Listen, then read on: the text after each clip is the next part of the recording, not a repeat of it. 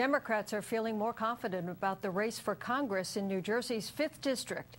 Dennis Shulman, a political novice who's legally blind, is challenging three term Republican Scott Garrett. As Zachary Fink reports, the surge in Barack Obama's candidacy is putting races within reach for the Democrats that were once safely in Republican column. Democrat Dennis Shulman was in a good mood this morning when we met him at his campaign office. Once a long shot candidate, Shulman now says he's confident they're closing the gap against Scott Garrett. Not only has the Democratic uh, Party been very interested in the race by putting us up to what they call red to blue, their highest ranking, but even there was a uh, even the Republican Party has ranked Garrett, Scott Garrett, as one of the most vulnerable seats in the United States House of Representatives. Last month, a poll commissioned by the Daily Kos Democrat-leaning website showed Garrett handily beating Shulman 49 to 34 percent. But just last week, those numbers shifted. The same poll shows Garrett ahead by only seven points in a district that has voted overwhelmingly Republican in the last two congressional elections. Analysts say many Republicans in different races have been hurt by the financial crisis.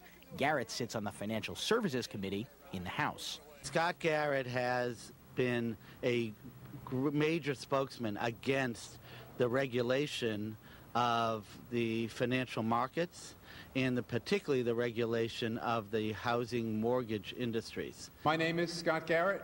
Garrett made a campaign stop with seniors this afternoon. After his speech, he spoke with voters and even had time to eat a cookie. But when we attempted to speak with him, Garrett and his aides told us there was no time. Congressman, just two quick questions. We really don't have time. Next, next Can't do it? No. No, sorry. Real quick? No.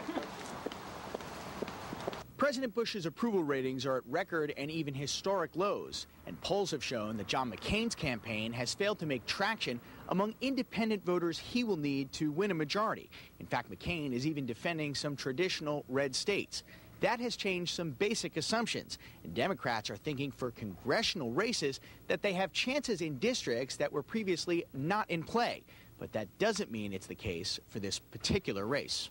The 5th Congressional District stretches over the northern portion of the state, cutting through four counties. It is generally considered a Republican stronghold. In the last presidential race, John Kerry lost to President Bush here by 14 points. But at least one poll has shown Barack Obama and John McCain even, or at least within the margin of error. Everything's changing, but let's be clear about when you say it's a Republican district. The person who occupied the seat in the House of Representatives for 30 years was Marge Roukema. Marge Roukema was not Scott Garrett.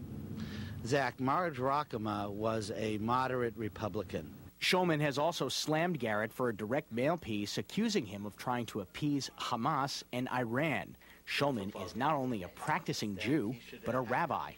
Zachary Fink, NJN News, Allendale.